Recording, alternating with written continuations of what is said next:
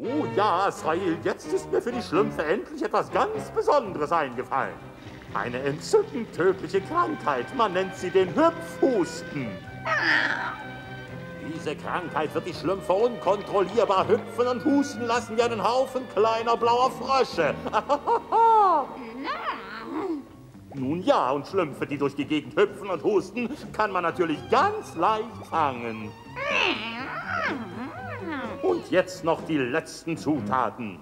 Zwei Hasenhaare, Springbohnen und drei Gramm Hopfen.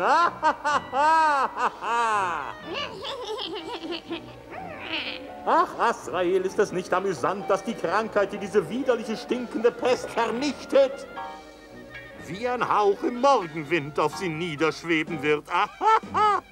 In kürzester Zeit werden alle Schlümpfe in meine Falle gehüpft sein.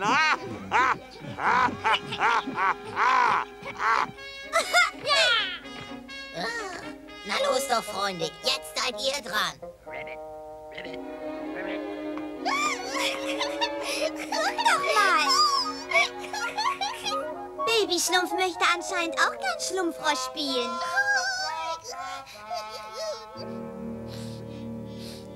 Es wird nicht mehr lange dauern, dann kann Babyschlumpf genauso hüpfen wie wir. Oh je, irgendwas stimmt mit Baby nicht. Hey, Baby hat sich doch hoffentlich nicht erkältet. Also so eine Erkältung habe ich noch nie gesehen. Ach du armes Kleines, wir müssen dich sofort zu Papa Schlumpf bringen. Es hustet und hüpft dabei. Das ist ja eine eigenartige Erkältung. Baby, komm zurück! Baby Schlumpf, wo willst du hin? Komm zurück! Ah, la la la la la, lo lo lo lo lo.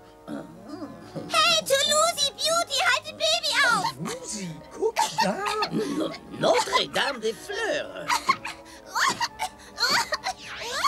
Voilà, ich habe gefangen das hüpfende Baby.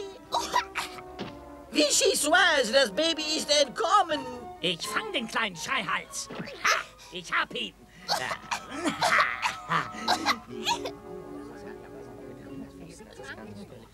Hoffentlich geht's unserem Baby bald wieder besser. Keine Sorge, Beauty. Papa Schlumpf wird schon ein Mittel finden.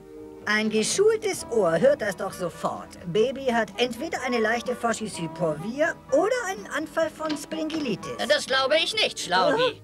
Ich, äh, äh, also äh, ich eigentlich auch nicht, Papa Schlumpf. Es war nur der Versuch, den anderen Schlümpfen die Sorge um Baby zu nehmen. Baby Schlumpf hat leider eine sehr schwere Krankheit.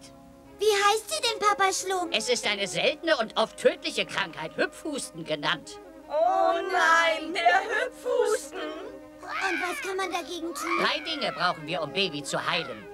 Und wie wären Papa Als Schlumpf? erstes brauchen wir Penicillium, Schlamm aus den Schlammminen. Den besorge ich natürlich, Papa Schlumpf. Gut, Schürfi Schlumpf. Und du, Handy, musst ein Reagenzglas mit Dampf aus der Dämonenquelle holen. Ist so gut wie erledigt, Papa Schlumpf.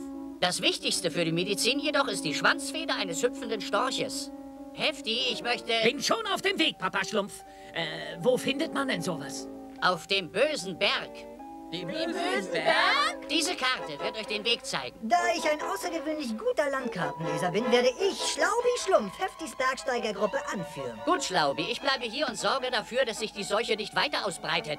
Aber wir müssen das Mittel noch vor Sonnenuntergang haben, sonst werden wir uns alle an der Krankheit anstecken.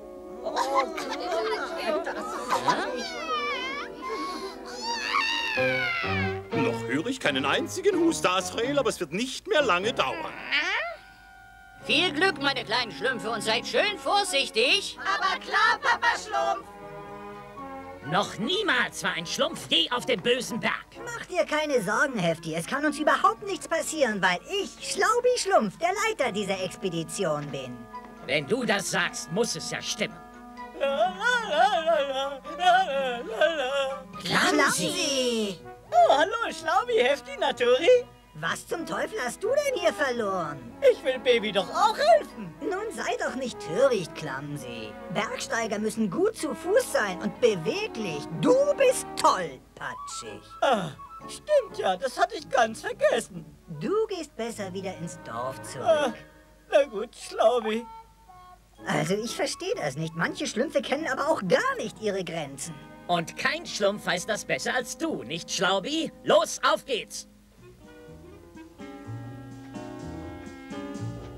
Clumsy, clumsy, clumsy. Wie sollen wir die Feder vom hüpfenden Storch besorgen, wenn du uns immer aufhältst? Wenn Papa Schlumpf deine Hilfe gewollt hätte, hätte er dich zu den Dämonenquellen oder den Schlammminen geschickt.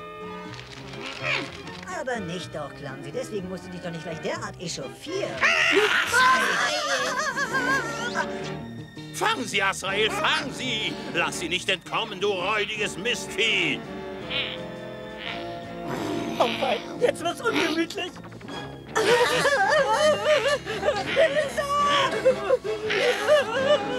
Jetzt sind wir in der Falle. Was nun? Ah, da kommt ja unser Führer. Fragen wir doch ihn.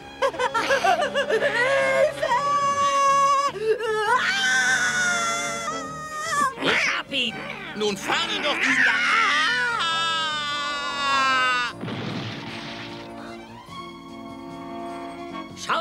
wir haben kostbare Zeit verloren. Nur nicht aufgeben, Hefti. Wir schaffen das schon.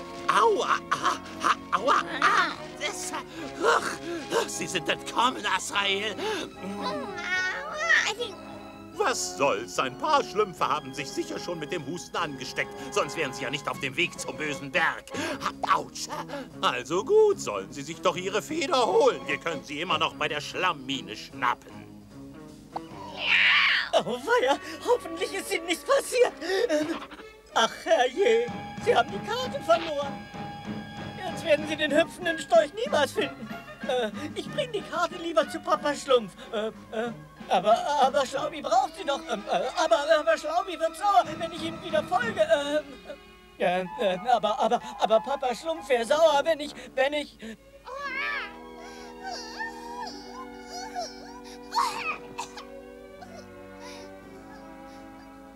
Unser armes Baby wird immer schwächer, Poeti. Wir brauchen das Mittel ganz dringend. Das Baby war noch ganz gesund, bevor es kam, so auf den Hund. Oh je! Das ist er ja, der böse Berg. Ich hab doch gesagt, ich würde ihn finden. Den Berg zu finden ist eine Sache. Rauf zu klettern eine andere. Keine Sorge, Hefti. Die Berge sind doch unsere Freunde. Der sieht aber nicht besonders freundlich aus. Mir ist es aber ganz schön gruselig. Oh, lass uns schnell unseren Dampf holen und dann nichts wie weg hier. Ich hasse Dampf. Da müssen Sie sein, die Schlammminen. Das ist mein Schönstes, unter Tage zu schürfen. Noch mehr Schlumpfspuren, Azrael. Sie sind da drin, gefangen. Papa Schlumpf hat gesagt, wir müssten erst den Wiegenfels finden und dann sollten wir der Karte folgen. Oh weia, auf den Berg schaffe ich es nie und nimmer. Aber Schlaubi braucht doch die Karte, um den hüpfenden Storch zu finden. Ich muss es versuchen. Ah! Oje, ich muss es nochmal versuchen. Cellavi, das wird meine schönste, aber auch meine letzte Meisterwerk werden. Nicht doch, du Lucy. Die Expeditionen haben noch einen halben Tag, um die Essenzen für die Medizin herzubringen. Ah oui, Papa Schlumpf. Aber, aber, sa, sa, äh, sacre bleu. Ich glaube, jetzt habe ich auch den Hüpf. Äh, Erstaunlich. Das sind die... Oh, die Schnell den Dämonenquellen. Dampf holen und zurück nach Hause. Ich würde ja gern wissen, warum man diesen Ort Dämonenquellen nennt. Ich will es überhaupt nicht wissen und jetzt trödel hier nicht rum. ich hasse Dämonenquellen. Oh je, Mini. Wir sind umzingelt. Oh, Handy, wenn wir es nicht schaffen, den Dampf ins Dorf zu bringen, wird Baby nie wieder gesund werden. Oh. Lass sie nicht weghüpfen, Torti. Ja, Festhalten. sacre bleu. Ins Bett mit ihm, aber sofort. Hier, Papa Schlumpf. Ich hoffe, diese kleine Überraschung heitert dich etwas auf. Dank dir, Jokey, aber jetzt nicht. Aber Pa, Pa. Tschüss. Das ist der Wiegenfels, wie Papa Schlumpf gesagt hat. Zeit für euren Bergführer Papa Schlumpfs Karte zu lesen. Würdest du sie bitte mal aus meinem Rucksack nehmen, Hefti? Schlaubi, die Karte ist weg. Dann habe ich sie auf der Flucht verloren. Wie finden wir denn jetzt das Nest vom hüpfenden Storch? Oh, jetzt reicht es mir aber langsam. Ihr braucht euch nicht zu sorgen, meine Freunde. Ich, Schlaubi Schlumpf, habe diese Karte natürlich in meinem Gedächtnis gespeichert. Erst gehen wir drei Schritte vorwärts, dann zwei Schritte nach rechts und dann abwärts. Schlaubi! Festhalten, Naturi!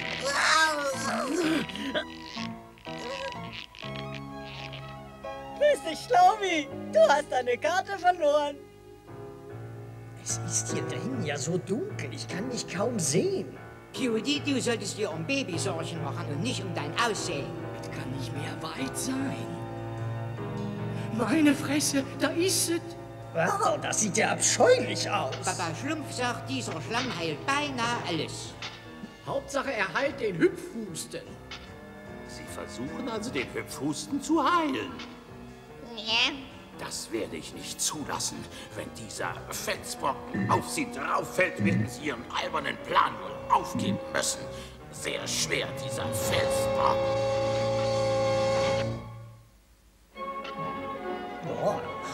Es hilft nichts, Beauty. Wir brauchen diesen Schlamm, um die Medizin gegen den Hüpfhusten herzustellen. Ich finde ihn aber immer noch grässlich.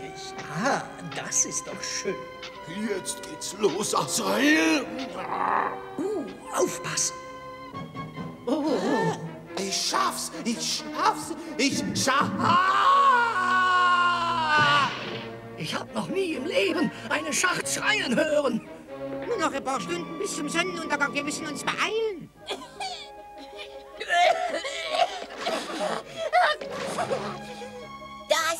Klippe.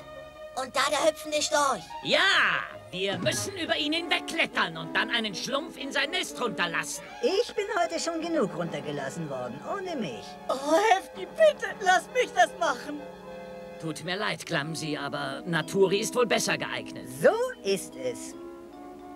Papa Schlumpf hat doch gesagt, Naturi ist der einzige Schlumpf, der den Storch bitten kann, uns eine seiner Federn zu überlassen. Die Schlümpfe in der Schlammine haben doch nur Glück gehabt, Azrael. Dafür müssen eben jetzt die anderen daran glauben. Sieh mal einer an, es scheint, als bräuchten wir überhaupt keinen Finger zu rühren. Oh, Azrael, das verspricht ein großartiges Schauspiel zu werden.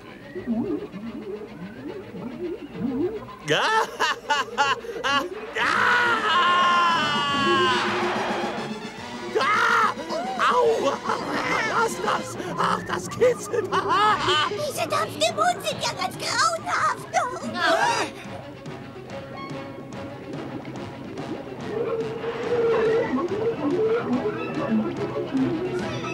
Vielleicht sind sie doch nicht so grauenhaft, wie ich dachte. Jetzt aber los! Wir können immer noch vor Sonnenuntergang zu Hause sein. Baby, komm zurück! Bringt alle Schlümpfe, die den Hüpfhusten haben, in mein Haus. Ja, Papa Schlumpf. Papa Schlumpf, wir haben den Schlamm. Baby, warte doch mal. Haha, ich hab Baby gefangen, Papa Schlumpf. Gut gemacht, Schürfi. Und ihr habt den Penicilliumschlamm? Hier ist er, Papa Schlumpf. Gut, gut. Hoffentlich kommen die anderen rechtzeitig zurück. Unser gefiederter Freund ist noch da. Gut.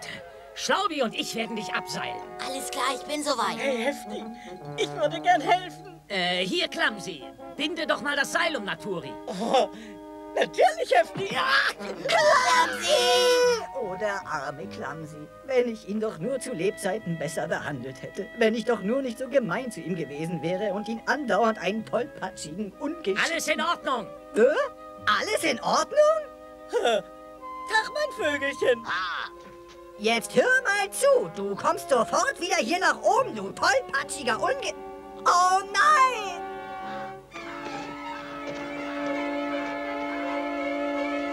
Oh, weia. Hey, lass ihn los, Storch! Nein, nein, bloß nicht. Nicht loslassen. Bitte bring ihn wieder zurück. Oh, der arme Clumsy. Jetzt können wir unser Dorf nicht vor dem Hüpfhusten retten. Was können wir denn jetzt noch unter, unter, unter... Oh nein!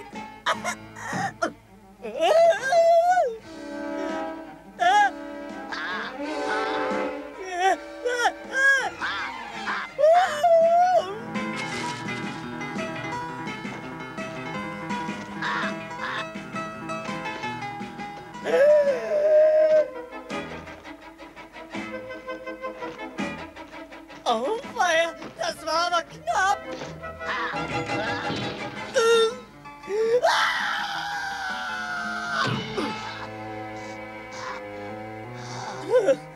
Dachte schon, das ist das Ende.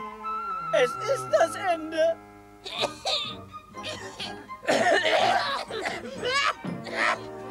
Oh je, Mini. Sieht so aus, als ob alle Schlümpfe im Dorf den Hüpfhusten haben. Ich hasse den Hüpfhusten. Ich hasse... Ist, dir was, passiert, Muffi?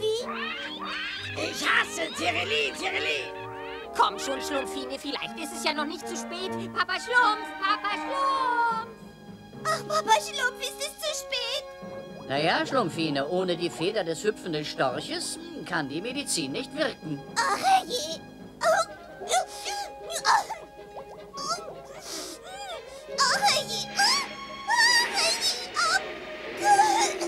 Sie ist vom Winde verweht. Erstaunlich. Schlumpfine, komm, komm zurück. Himmels Willen, helft mir doch, ich fliege weg.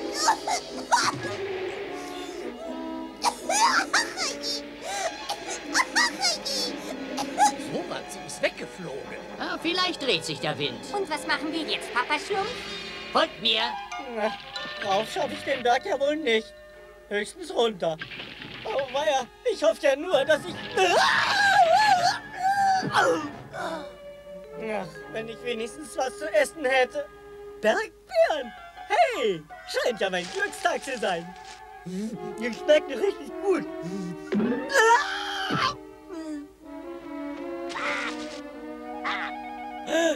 Ach, da ist ja wieder der Storch. Ui. Hast du Probleme, Vögelchen? Nur keine Bange. Ich helfe dir.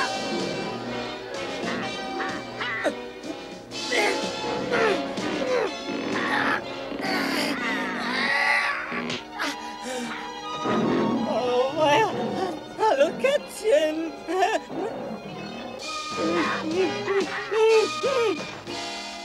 Ja, jetzt geht das wieder los. Ach, was für ein schlimmer Tag. Wenn ich doch wenigstens davon träumen könnte, die Schlümpfe ein für alle Mal zu fangen. Hey, Asael, hast du das gehört? Eine Schlumpfine, die fliegt? Oder ist das alles etwa nur ein Traum? Gargamels Haus zu. Ich träume nicht, sie fliegt genau in meine Richtung. Dann wird ja heute doch noch alles gut. Ach je, nee, wie soll ich bloß wieder nach unten kommen? Hierher geflogen. Ach, Gargamel. Ja, hier ist die Einflugschneise. Ja, oh verdammt. Komm zurück, du blauer Mistkäfer. Ja, aua.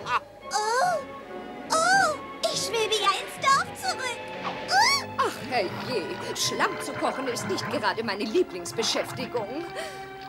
Aber irgendjemand muss es ja machen. Ich mache am besten gleich genügend fürs nächste Jahr mit. Puh. Ich kriege dich und wenn es das Letzte ist, was ich... Ah! Nun muss ich das schreckliche Zeug uh, nur noch abliefern, also gut. Du meine Güte, das ist ja wieder stark geworden. So, bloß weg damit. Auf Nimmerwiedersehen.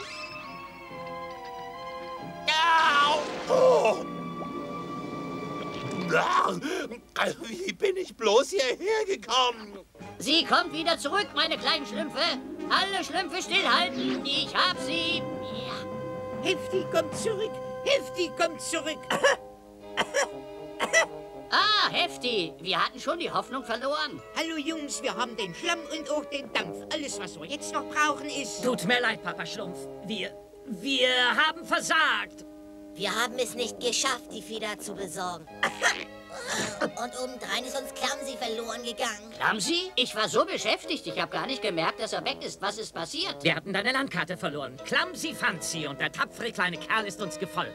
Und dann fiel er in das Storchnest und der Storch ist glatt mit ihm nach vorn geflogen. Ah, Papa Schlumpf, wir werden den armen Clumsy niemals wieder Grüß dich, Schlaumi.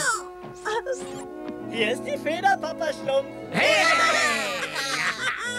Anständig von dir, dass du ihm die Karte hinterhergetragen hast, Clumsy. Aber wie hast du den hüpfenden Storch dazu gebracht, dich nach Hause zu bringen? Wir haben uns sehr gut verstanden, Papa Schlumpf. Haha, sieh mal einer an. So, hiermit ist die Medizin gegen den Hüpfhusten fertig. Und die müssen wir jetzt trinken? Naja, ähm, ähm, nicht direkt. Eigentlich nicht. So, alle Schlümpfe, die den Hüpfhusten hatten, sind kuriert. Autsch! Und die Impfung wird dafür sorgen, dass die anderen Schlümpfe sich nicht anstecken. Wir sind alle stolz auf dich, Clumsy. Wenn du den hüpfenden Storch nicht überredet hättest, uns eine seiner Federn zu überlassen. Naja, dann... Autsch! Autsch!